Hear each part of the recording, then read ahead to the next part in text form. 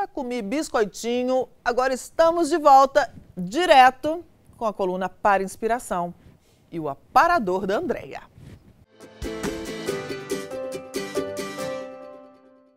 E quem disse que uma mesa estreita não pode receber?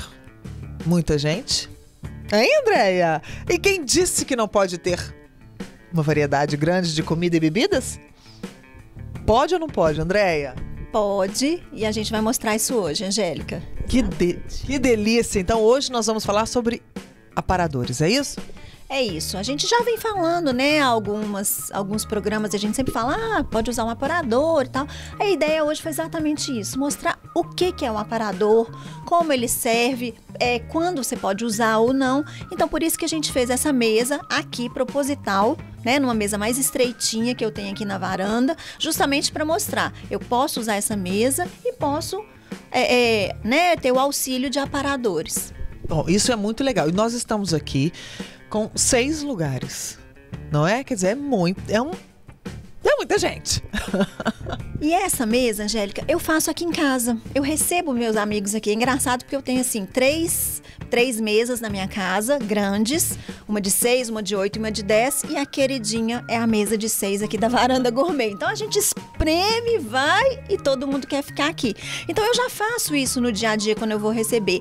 Aí eu sempre uso os aparadores, tanto de vidro que eu tenho aqui, que nesse caso eu coloquei as bebidas, tá? Então tem na mesa, a gente já tem os copos e as taças, mas eu coloquei aqui no aparador. Uma bandeja com copos para água, uma bandeja com taças para cerveja, um, uma jarra de suco e uma jarra de refrigerante e o espumante que a gente vai começar, né? A ideia é começar com ele e depois a gente passa para um vinho, né? A cerveja também eu não, não coloquei ela ali só para não esquentar, mas a ideia desse aparador de vidro é que ele seja para bebidas. E eu coloquei no finalzinho da mesa um aparador para as comidas, tá? Isso é sempre uma entradinha, então eu coloquei ali é, uma tábua de frios, pães recheados, é, coloquei damasco e, e um, um biscoitinho salgado também também uns outros pães, é, porque é, a ideia é essa, mostrar assim que a gente vai começar à noite com alguns petiscos e depois a gente serve o, o almoço ou jantar, né? Eu tô falando aqui começar à noite, mas pode ser um dia, a gente pode começar e, e fazer o almoço. E a ideia é depois trocar tudo isso e colocar a comida mesmo também no aparador. Sim, então esse aparador ele pode ser trocado várias vezes durante o evento, né? E, e, e ele serve tranquilamente tranquilamente. O aparador, ele é muito usado, né? E antigamente ele era até mais usado. Você tinha sempre é, na mesa o que eles chamam de buffet, né? Que já, já vinha o conjunto que você comprava a mesa com, com o aparador que combinava. O aparador, ele pode ser usado também no quarto, sabe? Numa sala. Então, são móveis que você coloca para te dar um suporte aí e te ajudar. No meu caso, eu tenho esse de vidro e esse de madeira. E o legal, Angélica, é que esse de madeira meu é portátil. Então, eu já fiz pensando nas duas mesas de madeira de demolição que eu tenho aqui em casa. Quando eu preciso, eu levo ele para cobertura, quando eu preciso, eu trago ele aqui para baixo. Fica super coringa e ajuda. O pessoal de casa pode falar assim: ah, mas eu não tenho aparador. Uma mesa. Pega uma mesa. Se você não tem uma mesa que você possa trazer, mesinha de plástico, põe uma toalhinha bonitinha em cima, branca, de renda ou de outra cor que você queira e tenha, e você já tem aí o seu aparador para te ajudar. Não tem desculpa. Não tem desculpa. dá para receber, dá para receber bem. É só mesmo pensar o que que você quer, né? Aquilo que a gente sempre fala em todo em todo o programa que a gente está aqui, em toda coluna. O que que você quer nesse dia? É uma coisa formal, informal? Eu vou colocar. Você pode muitas vezes eu falei de, né, de servir a comida, mas você pode ficar só com petiscos. E aí você coloca outros petiscos sempre usando o aparador como como, né, o, o suporte aí a ajuda. E aí os convidados ficam à vontade para poder se servir, é isso? É isso. Aqui nesse caso, né, é, vai estar tá todo mundo assentado, porque o espaço é pequenininho, então não tem como ficar, né, transitando muito. Não seria um serviço americano para todo mundo sair, né, e sentar em outros lugares. Então seria mesmo para a gente ficar nesse ambiente. Mas sim, a pessoa levanta, se serve, volta, ou até mesmo, né, um, um, um amigo passa para o outro, pensando que eu estou convidando amigos para casa, né? Então assim, tá bonita, tá bacana bacana, tá linda, mas eu sempre, gente, mesmo que eu tenha a louça mais chique do mundo, eu deixo meu convidado à vontade. Que eu acho que é esse o grande segredo. Ele tem que se sentir em casa, estando na sua casa. Com certeza, isso você faz brilhantemente. Obrigada, querida. Então a gente se encontra na semana que vem, combinado? Combinadíssimo. Um beijo, Angélica. Um beijo, pessoal de casa.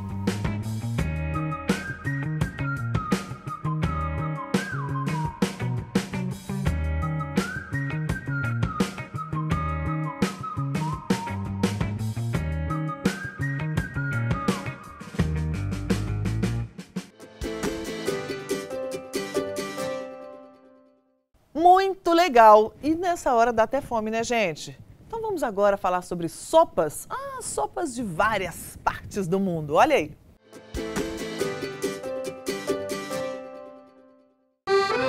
O prato mais parece uma obra de arte francesa. Debaixo dessa massa crocante, a clássica sopa de cebola. Uma das mais antigas do mundo, surgiu em 1651 na França. Naquela época era considerada a refeição dos mais pobres, já que as plantações eram lotadas de cebolas. Com o passar do tempo, a sopa foi ganhando espaço também nos banquetes franceses. Realmente uma sopa de inverno e que a gente come assim o dia a dia e como refeição às vezes porque realmente ela é muito rica, ela é muito rica. Então é, é a sopa de, de, todo mundo e mais que tudo é uma sopa da, do final das festas, eu diria. Descemos no mapa até a Itália. Na região de Gênova temos a minestrone. A minestrone significa sopas, né? Que você pode utilizar produtos que você tem na sua geladeira. Então não tem um ingrediente específico, você pode juntar tudo e fazer um minestrone do seu jeito. A sopa foi criada por camponeses italianos na época da Grande Guerra. Com pouca comida e temperaturas baixíssimas, eles misturavam o que tinham: legumes, feijão e verduras. As pessoas é, juntavam as famílias, cada um com o ingrediente que tinha em mãos, e faziam na praça uma grande sopa para as pessoas é, compartilharem. Na região da Toscana, a papa ao pomodoro é a mais típica. Tem como ingrediente principal o tomate. Para preparar, o chefe refoga cebola, tomate, cenoura e salsão. Depois acrescenta pão amanhecido torrado. Quando a sopa está quase pronta, ele cuida do detalhe final, o ovo pochê. Aqui é, é água quente, um pouquinho de vinagre. E você coloca o ovo. Você pode girar a água para que se concentre tudo no meio. No caso, estou fazendo da maneira mais simples que a pessoa possa fazer em casa e deixar cozinhar até o ponto desejado. Diferente das outras, papa ao pomodoro é uma sopa mais densa e também muito saborosa. Da Europa para a Ásia, a sopa que você vai conhecer agora é um prato ancestral tradicional da Tailândia chama Tom Yam, significa sopa azeda. A ideia é servir bem quente, ideal para esses dias mais frios. É um caldo com molho de peixe, camarão, gengibre e temperos asiáticos. É uma sopa que basicamente fala um pouco da culinária do sudeste asiático, né? Que é picante, ácido e salgado no mesmo prato.